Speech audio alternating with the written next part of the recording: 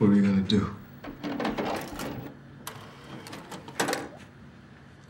Told you. We're gonna hang out. Watch Not a movie. exactly karate, just something that I created. Take some pictures. I learned that kick, you know, 40 years ago or 30 years. Alexander Emelianenko, the most handsome man to compete in MMA. Well, probably the nicest guy to ever do MMA? No? The most honest? He's Fedor Emelianenko's brother. Alexander is often overlooked because of his older brother, but in his prime, he wasn't bad. He might not have fought the same caliber of opponents or had as an impressive win streak as Fedor did, but that didn't mean he couldn't scrap. Alexander was born when the family had already moved to Stary Oskol. Like his brother, Alex took a shine to Sambo when he accompanied Fedor to practice, under the tutelage of Voronov, the man who would assume the role of mentor. The brothers developed their Sambo skills with Alexander also getting into judo, boxing, and wrestling. Whereas Fedor was straight and narrow, Alex was the opposite. He got into a lot of street fights as well as just being a handful. Like his brother, he did study to be an electrician, and he did graduate in the end, despite being transferred for acting like a dick. Alex also proved his worth in Sambo, snatching up gold in world, European, and Russian championships. At age 22, Alex made his pro MMA debut at Pride Bushido 1, earning himself the title as the youngest fighter to debut in Pride. Alexander made short work of his first three opponents, which consequently led him to a fight with Cro Cop at Pride Final Conflict in 2004. This would be his first real test. The two went at it, exchanging heavy blows, hanging out in the danger zone, and because of Alex's size, pundits predicted that it would be impossible for Cro Cop to land that patented head kick.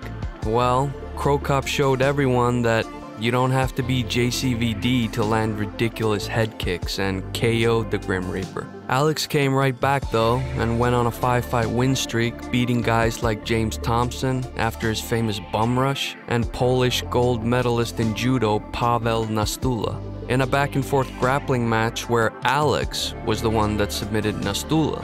At Pride Total Elimination Absolute, Alex entered the heavyweight Grand Prix and faced Josh Barnett in the opening round. Alex was outstriking Barnett, but in the second round, Barnett got a takedown and was spamming the Americana, which prompted Alex to tap to what looked like some kind of injury. Alexander's final fight in Pride was against Sergei Kharitonov, a former training partner of his brother's. The two were pretty evenly matched, with Kharitonov landing slightly better shots, dropping Alex, but Alex managed to keep his composure and later landed shots of his own rocking Sergey and then swarming him, getting the win. Alexander ended his Pride run at 7 and 2, which wasn't bad at all. Of course, being the brother of the Great One, people had pretty high expectations. For the next few years, Alex bounced around organizations, fighting in Bodog, M1, and Pro FC, to name a few. At Too Hot to Handle, Pride and Honor, Alex faced Fabricio Werdum and was submitted early in the fight when it went to the ground by a sneaky arm triangle choke. Werdum would of course go on to shatter Fedor's aura of invincibility with a triangle choke a few years later. After his loss to Werdum, Alex went on a knockout spree, KOing six of his next eight wins. Pounds in 13 years.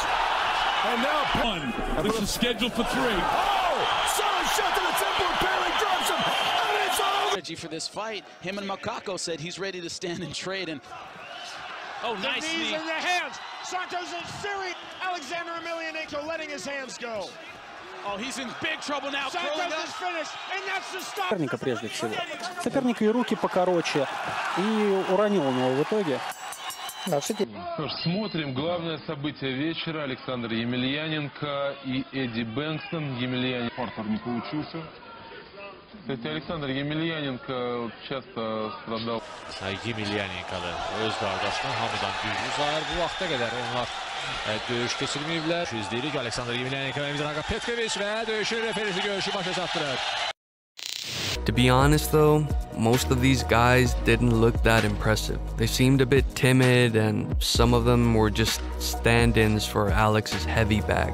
And when Alex knocked out a guy named Eddie Bankston with what looked like nothing more than air, people got a talking. Alexander just stood there looking confused while Bankston was going for an Oscar winning performance. The whole thing was sus as fuck. He did manage to beat guys like Dan Bobish and Konstantin Gluhov.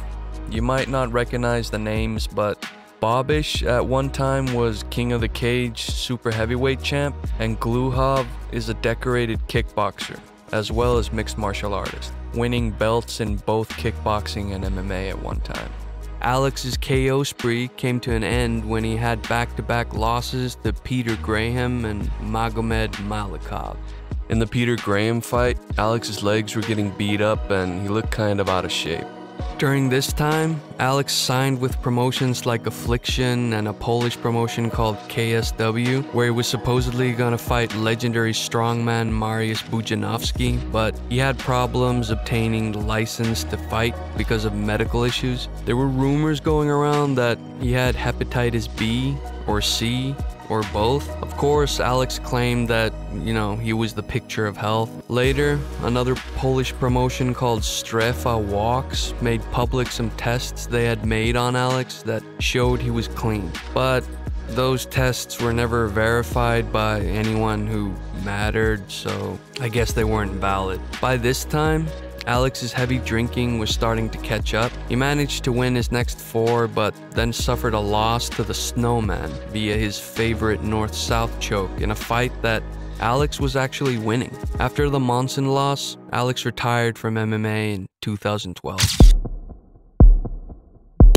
When Alex came out of retirement in 2013, his first fight back was against MMA legend, I mean, laughingstock, Bob Sapp. It was a classic Sapp fight. He threw a few haymakers that everyone could see from miles away, and as soon as he started to get hit, he tapped. A few months after his Sapp win, Alex was found guilty of raping his housekeeper. He stole her passport and forced her to take drugs when the incident took place. He got four and a half years for that and a $1,000 fine. He was released on parole in 2016. There's been a lot of controversy surrounding Emelianenko's tattoos. You know, if Alex is a Vori or not.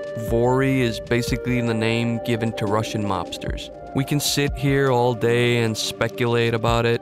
Truth is, Alex has always denied any affiliation with the Russian mob. His story is that he just likes tattoos, and in later years, he did cover some of them up. Is he in the mob? I don't know. Does he have mob connections? Probably. He's a celebrity in Russia that's been in prison. I'd be surprised if he didn't at least know some of those people from that life. If you guys want to know more about the Russian mob, go watch Eastern Promises with Viggo Mortensen. Anywho, when Alex got out of prison, he signed with RCC and Fight Club Akhmat. He had a decent run knocking out a few guys, and in one video, Alex had been boozing or popping pills all night when his buddies show up and literally have to help him out of bed. He ran a few clicks and did some shadow boxing before going into the cage and having a fight. This was nothing new, with some fighters criticizing Alex and his inability to take fights because of his drinking.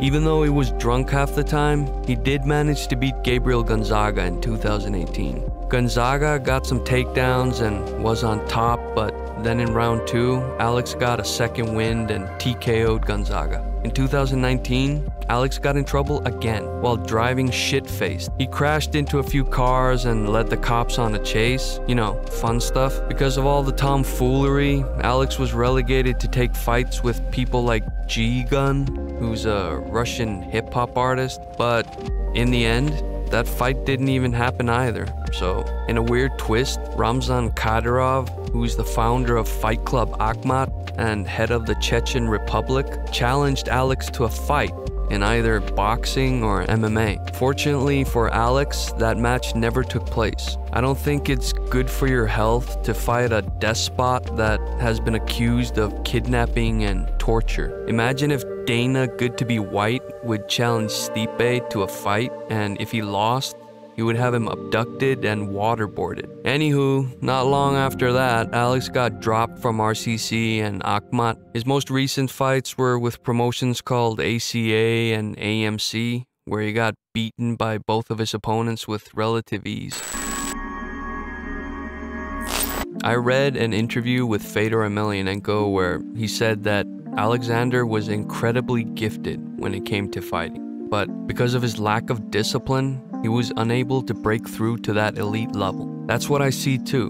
A big guy with big potential and talent, but just unable to control his demons. Lengthy prison sentences, being in the mob, killing a bear with a spear. In my opinion, the mysteries that surround Alexander the person far exceed his achievements in the cage. Of course, being in the shadow of a giant like Fedor was probably never easy. Whatever the case is, his is the classic story of what could have been. And because we have Fedor, we can actually see what could have been. Thanks for tuning in, guys. Please like, subscribe, and all that shit.